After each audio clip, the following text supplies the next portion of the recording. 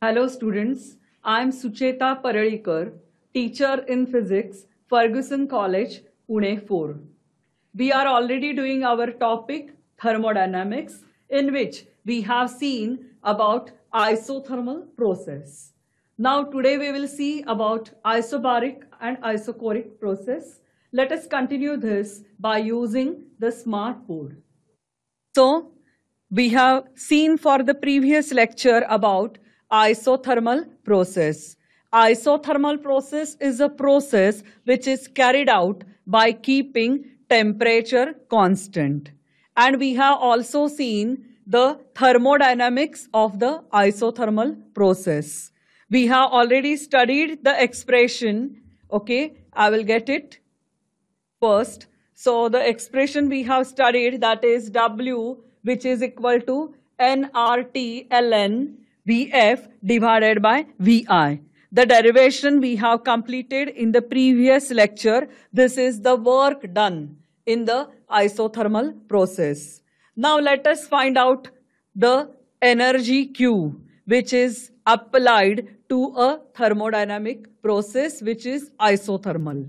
Now remember as the process is isothermal I can say here the change in system which is equal to 0 because delta T is equal to 0. As we have seen earlier that delta U is directly proportional to delta T. So the process is carried out at constant temperature. So therefore there is no change in temperature. Therefore delta T which is equal to 0 for an isothermal process and therefore delta U that is change in internal energy of the system that is also equal to 0. Now let us apply the first law of thermodynamics. I will write the statement for you. So the first law of thermodynamics that is Q which is equal to delta U plus W. Okay. Q is the energy supplied to the system delta U, which is the change in internal energy of the system, and W is the amount of work done.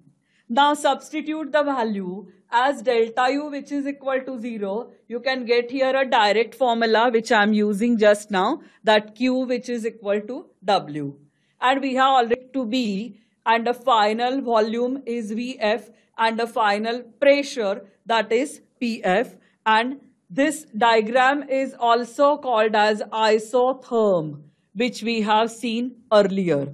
Okay. So therefore, this is our standard typical PV diagram, which I have taught you earlier. Okay. Then now, in the textbook, the points highlighted for the isothermal process. So for the isothermal process, I can summarize the isothermal process. The equation of state PV which is equal to constant which is equal to nRT. We have seen this earlier. Then delta T which is equal to 0 because the process is constant temperature process, perfect thermal equilibrium with the environment. Then delta U which is equal to 0, there is no change in the internal energy. Energy is exchanged with the environment. Then as we can see here, we have just now derived Q which is equal to W, energy exchanged or energy supplied to the system which is utilized to do the work. Then this is our standard formula to calculate the work, W which is equal to P into delta V. And the last point, an isothermal change is very slow change. The system exchanges heat with its environment and is in thermal equilibrium with it throughout the change. Okay, so this is what about an isothermal process, a process which is carried out at constant temperature. Now let us study the next process that is the isobaric process. So see here, isobaric process is a constant pressure process.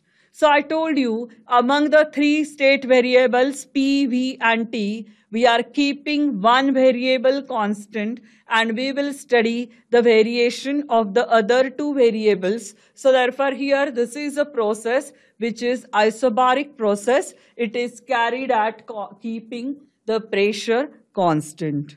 Now, let us see the PV diagram for the isobaric process. So see here, the system is at initial state A, it is changing to its state B, B is the final state. The initial volume of the system is VI and the final volume of the system, it is VF and the process is carried out by keeping the pressure constant.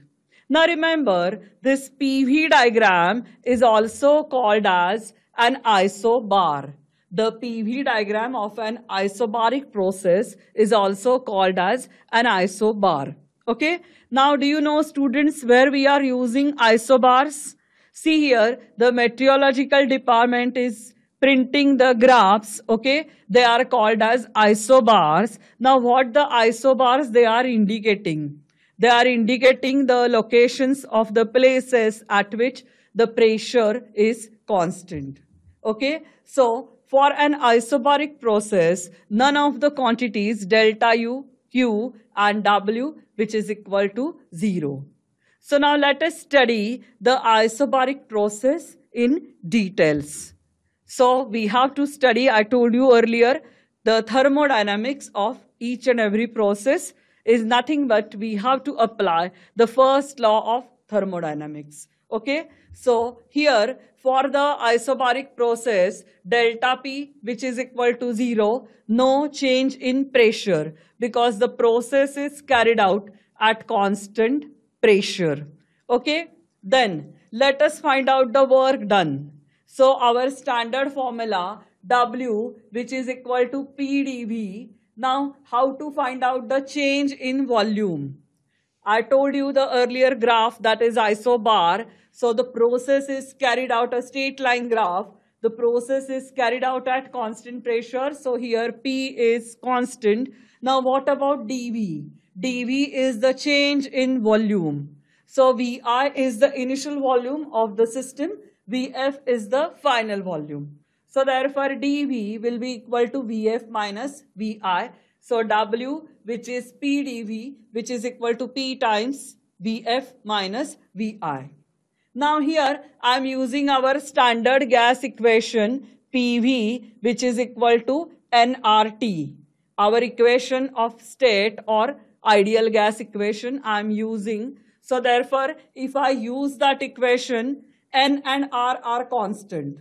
Okay. And now the corresponding change in temperature, okay, it will be Tf minus Ti, where Ti is the initial temperature of the system and Tf that is the final temperature of the system. So I'm substituting the value in the ideal gas equation or in the equation of state. We are going to get this formula. This is about the work. Now we have to calculate the delta U. That is the change in internal energy of the system. Here, this equation, I have taken it as it is from your third chapter. Now, to learn the topic thermodynamics, please remember students, few concepts which we did in the earlier topic, that is kinetic theory of gases, we have to recall from the previous chapter. So here the equation 3.23, I am taking it directly as per the textbook. Okay. So in the textbook, it is already derived. The change in internal energy of the system is given by the equation dE, which is equal to CV times dt. Now, what do you mean by CV? CV is the specific heat to be calculated by keeping the volume of a gas constant. Okay, so CV is the specific heat obtained at constant volume. dE is CV into dt. Now here in this topic thermodynamics, we are denoting the change in internal energy not by dE but by the symbol delta U. So I am replacing dE by delta U, same CV dt I am writing instead of dt, it will be the symbol delta t. And now I am multiplying it by n. n is number of moles of the gas which is present. Okay. So therefore our formula for internal energy, Please remember this. We will need it for further derivations also. So delta U, which is N times CV into delta T. Now I'm substituting for delta T. What is delta T? It is the change in temperature. That is the temperature difference. Final temperature minus initial temperature. So therefore delta U, which is N times CV multiplied by TF minus TI. So this equation is 4.11 from the textbook. Then now let us apply the first law of thermodynamics Q which is equal to delta U plus W. In this formula, we will substitute for W and we will substitute for delta U. But before I do the substitution, again this relation I am revising from the third topic, which is called as Mayer's relation. The difference between the two specific heats, Cp minus Cv, which is equal to R, where R is the universal gas constant. Cp is the specific heat obtained by keeping the pressure of the gas constant. And Cv is the specific heat we are obtaining by keeping volume of the gas constant. So Cp minus Cv, which is equal to R, let us substitute the value and we will get it like this. Now see here, first step, I have substituted for delta U. So therefore, because first term here is delta u. So Q, which is equal to N times CV, okay, and multiplied by TF minus TI. And I will substitute for W. So W, which is equal to, uh, substitute for W. W is over here, equation 4.10. W will be NR multiplied by TF minus TI. So therefore, both the values I have substituted. Now students, can you observe something is common? Yes, the temperature difference is common throughout. So therefore, the temperature difference TF minus TI, I am keeping it in one of the bracket and in the remaining bracket, I am writing the terms. So the first term N times CV plus the second term that is NR multiplied by TF minus TI which is equal to your Q. Now here I have substituted this formula that Cp minus Cv which is equal to R. So therefore can you write the formula for Cp? Cp will be equal to R plus Cv. So the same thing substitution is done in the derivation and therefore n times Cv plus n times R it will be equal to n times Cp using this relation multiplied by the temperature difference and that is the final expression for Q. Q is the energy supplied to the isobaric process. Okay. So what is an isobaric process? The process which is carried out by keeping pressure of the gas constant. So here, once again, Cp is the specific heat at constant pressure and we are using actually the Mayer's relation Cp minus Cv which is equal to R. So this is all about thermodynamics. Now remember all these thermodynamics applied to a particular process. These all may be asked as a long question to you in your board exam. Okay. So let us see about the equation 4.12, the final equation. Equation 4.12 tells us that the temperature of the system changes in an isobaric process. Therefore, internal energy also changes. Okay? And the heat exchange in equation 4.12 is partly utilized for increasing the temperature and partly utilized to do some work. Okay? So this is all about the isobaric process. The change in temperature of the system depends on the specific heat at constant pressure, that is Cp. As you can see here from the formula, that as N is constant, Q is depending on the temperature difference and Q is depending on Cp. Okay, so this is about the isobaric process. I would like to show you the animation so that it will be uh, clear to you, the concept. So now see here, the temperature as you know is changing and now see here the volume uh, th uh, that is changing and now see the pressure gauge. The pressure is constant. So constant pressure is shown by the pressure gauge and the volume and the temperature, both the things are changing as you supply the heat to the system or to the gas. So this is about the isobaric process. After this, we have to summarize the process. So delta P, which is equal to zero, that is the constant pressure process.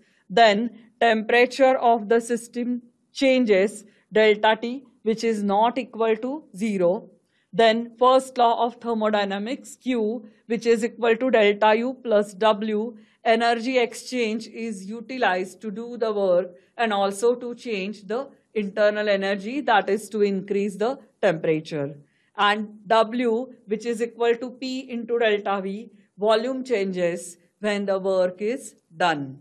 Okay, so this is all about an isobaric process. Let us see the next process that is isochoric process. So see here, this is the constant volume process, isochoric.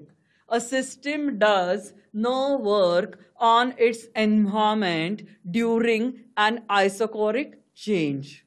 So let us study about the PV diagram of an isochoric process. Okay, for an isochoric process, remember delta V which is equal to zero, no change in the volume. And we have to apply the first law of thermodynamics, so which gives you the statement delta U which is equal to Q. Whatever energy you are supplying, so see here, this means that for an isochoric change, all the energy added in form of heat remains in the system itself and causes an increase in the internal energy.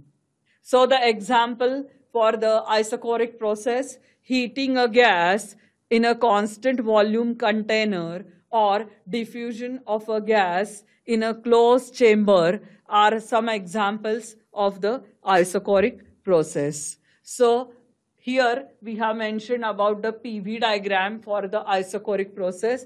Remember, the process is carried out by keeping the volume of the system constant. So therefore, see here, this is a straight line which is parallel to your y-axis. So that is the graph which is parallel to your pressure axis. Pi is the initial pressure of the system. When the system is at A, Pf is the final pressure of the system when it is at B, okay? And this is a graph, okay, for the isochoric process.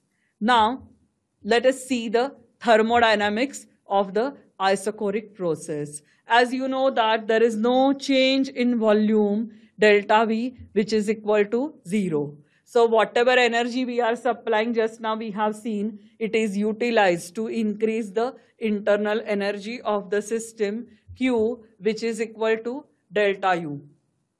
And we know already this formula that delta U, the change in internal energy, just now we have seen for the previous process, that is isobaric, that delta U, which is N times CV into delta T. Okay, but what is CV? It is the specific heat obtained at constant volume. Now, no work is done. This is our standard formula for the work W, which is equal to P into delta V, which is equal to 0 because delta V, which is equal to 0. Okay, so therefore, apply now the first law of thermodynamics, Q, which is equal to delta U plus W, which is delta U, which is equal to N times CV into delta T. So this is the equation for the heat supplied to a system which undergoes an isochoric process. Okay, now this is the animation. Observe now, is the piston moves, piston is moving? No. So see here, the volume of the system is remaining constant. See the change in the temperature. So here, temperature changes, okay? Isochoric volume is remaining constant and remember the pressure of the system, it changes. So therefore, the process, it is the isochoric process. Okay, the animation. Now, here summarize the process. delta V which is equal to 0, the process is constant volume. W is equal to 0, no work is done because the volume remains constant, delta V which is equal to 0. So therefore Q is equal to delta U. Energy exchange is used to increase the internal energy delta T which is not equal to 0. So temperature of the system, it changes over here. Okay. So after this, we have to study today about cyclic process. So what is the cyclic process? Let us see. This is the PV diagram of a cyclic process. So see here, the initial state of the system is A, okay, and the system goes from A to another state B via path number one, okay. The initial pressure of the system at A, it will be Pi, and the initial volume of the system, it will be Vi. The system has undergoes path 1 and now it has reached state B. Okay, the final pressure, it will be PF, the final volume, it will be VF. And now, again it is going back from B to A, okay, but remember the path selected by the system, that is different.